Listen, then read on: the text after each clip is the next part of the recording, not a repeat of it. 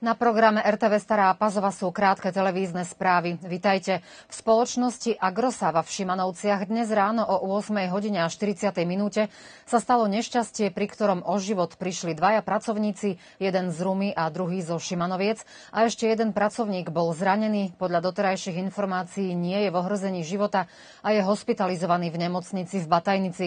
K nešťastiu došlo vo výrobnej hale pri explózii, ktorú vyvolal tlak vodnej pary.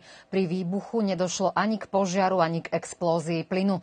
Podľa neoficiálnych informácií k nehode došlo v závode na výrobu krmiva pre domáce zvieratá. Všetky podrobnosti budú známe po skončení vyšetrovania. Spoločnosť Agrosava vznikla v roku 1990, zaoberá sa výrobou prostriedkov na ochranu rastlín a zamestnaných je tu vyše 200 pracovníkov. Vo svojich priestoroch majú aj továreň na formuláciu granulovaných tekutých a práškových pesticídov, stredisko na spracovanie osiva zo suši sušičkou a sklad osiva, závod na výrobu plastových obalov, tlačiareň, laboratória a distribučné centrum pesticídov. Prejdeme na agentúrne správy. Premiérka Srbska Anna Brnabičová povedie delegáciu Srbska na zasadnutie Rady pre stabilizáciu a pridruženie Srbska k Európskej únii, ktoré sa zajtra bude konať v Bruseli. Pôjde o jednodennú návštevu, v rámci ktorej sa premiérka stretne s najvyššími predstaviteľmi Európskej únie, vrátane troch predsedov najvyšších európskych inštitúcií, a to sú Európska komisia, Európska rada a Európsky parlament. Ministerka baníctva a energetiky Zorana Michajlovičová uviedla, že lítium spolu s meďou a zlatom sú kritickými surovinami vo svete. Ako povedala, zastavením projektu Jadar stratilo Srbsko šancu stať sa jednou z prvých krajín v Európe s úplným výrobným reťazcom. Dodala, že zrušením uznesenia o priestorovom pláne je fakticky projekt Jadar zastavený, čo však neznamená, že si môžeme dovoliť zastavenie baníctva v Srbsku. Podotkla, že ak štát chce, aby ľudia zostali v Srbsku, vláda musí vytvárať lepšie hospodárske podmienky, čo znamená, že nesmieme zastaviť reformy.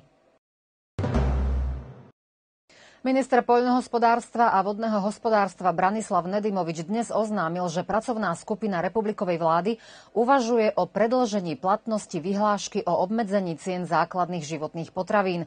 Pôvodne platnosť vyhlášky mala vypršať 10. februára, avšak uvažuje sa o jej predlžení, tak aby k zvýšeniu cien neprišlo, povedal Nedimovič pre belehradské médiá.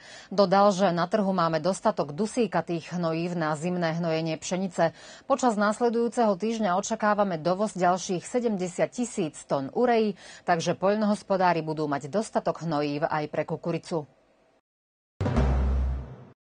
RŽD International upozorňuje, že na úseku železnice Stará Pazova Nový Sad je zakázaný prístup tretím osobám, teda nepovolané osoby sa tu nemajú pohybovať ani prechádzať po nástupištiach, koľajniciach či blízkom okolí stanice. Zákaz trvá do 5. februára a dôvodom je zabezpečiť bezpečnosť občanov počas realizácie testovania tejto časti novo vybudovanej železnice. Všetky ulice prvej priority v Staropazovskej obci sú priechodné, dozvedá sa RTV Stará Pazova z verejnokomunálneho podniku Čistoča. Ulice druhej priority boli počas dnešného dopoludnia opäť posypané soľou. Soľou boli posypané aj všetky príchody k dôležitým inštitúciám v celej Staropazovskej obci. Zimná služba podniku Čistoča počas víkendu v obci použila viac než 15 tón soli. Problém v najbližších dňoch môžu predstavovať nízke teploty a vytváranie poľadovíc na cestách, preto sa vyžaduje vyžaduje maximálna opatrnosť a povinné je používať na autách zimné pneumatiky. Zimná služba čistoče je v pohotovosti 24 hodín denne. Najnovšie údaje zo stránky COVID-19 RS, ako vyzerá situácia v celej krajine.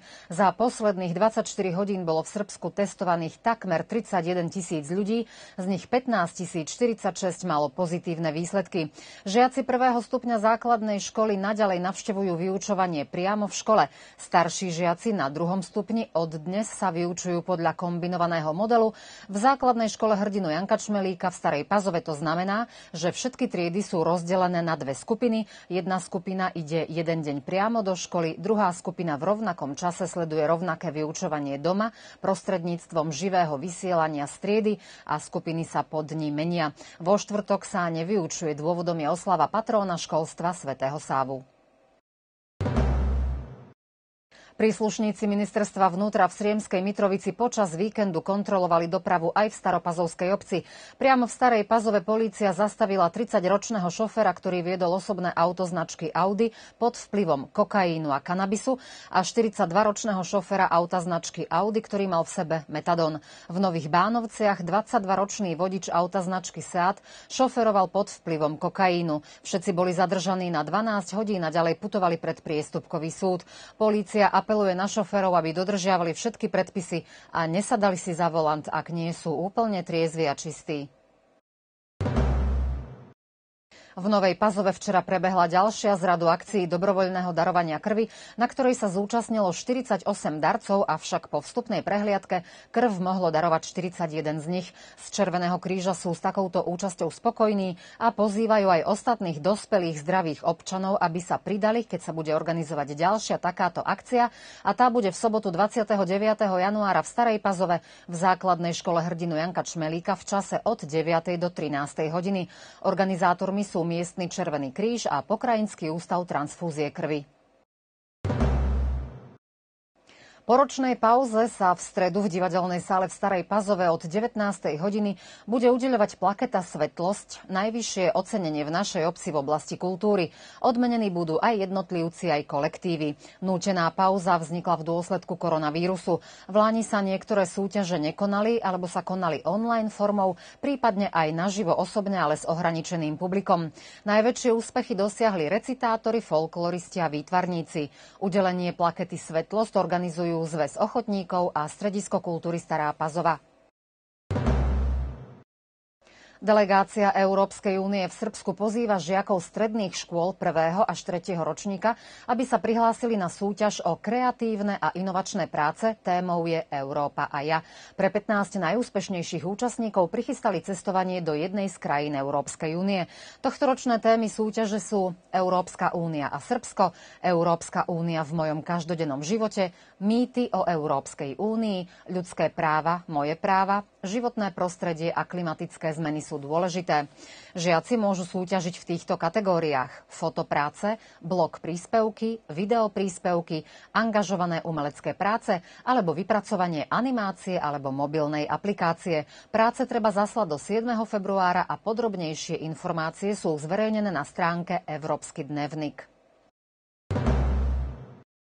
Dnes si pripomíname presne 100 rokov od narodenia významného staropazovského spisovateľa pre deti, literárneho vedca, učiteľa, novinára, prekladateľa Zlatka Klátika. Narodil sa práve 24. januára v roku 1922. Narodil sa v učiteľskej rodine a vzdelanie získaval v Starej Pazove, Novom Sade a Vukovare. Neskôr pokračoval v štúdiu na učiteľskom ústave v Sombore. Pôsobil ako učiteľ na viacerých miestach bývalej Juhoslávie. Zúčastnil sa protifašistického odboja ako ako partizán.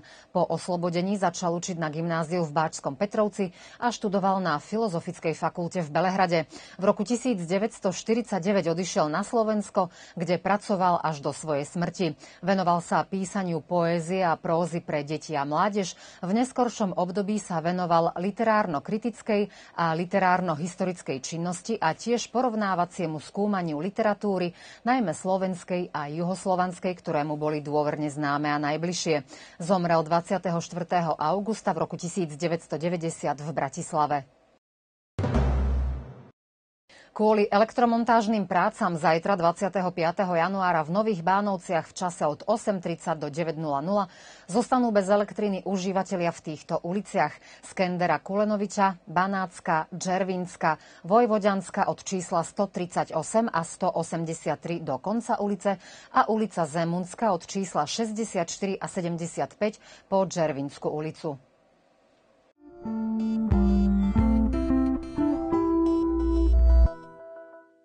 V útorok polooblačno, do obeda viac slnka, po obede už len oblaky, slabší vietor pocítime zo západu. Čo sa týka hodnú od na teplomery, pohybovať sa budú v rozmedzi od mínus 4 do 1 stupňa. Podobné bude počasie aj počas následujúcich dní. A na záver ešte meninová rubrika. V týchto dňoch oslavujú len páni. Dnes sú to Ctiboch a Timotej. Zajtra má meniny Pavel. Všetko najlepšie. Milí diváci, pondelkové správy končia. Dovidenia zajtra.